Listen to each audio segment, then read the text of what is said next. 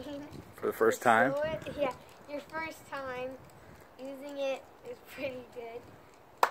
How long it take us? a long time, like 30 minutes probably. Does it fit okay? Yeah, pretty good. Okay.